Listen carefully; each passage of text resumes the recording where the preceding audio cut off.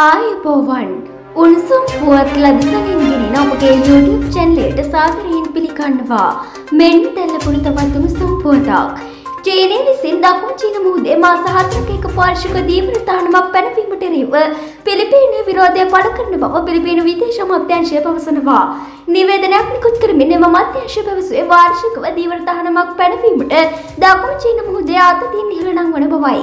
ඒ අනුව පිලිපීනයේ සෛරීත්‍ය සහ සෛරීත්‍ය අයිතීන් උල්ලංඝනය කරන නීති විරෝධී ක්‍රියාවලිය නන්වන ලෙස ඒ වගේ නිවත් වන ලෙසත් දීවර විරෝධය පා චීනය දකුණු චීන මුහුදේ වාර්ෂික මාස තහනමක් පනව ඇති අතර පිලිපීනයට විරුද්ධත්වය ප්‍රකාශ කර තිබෙනවා.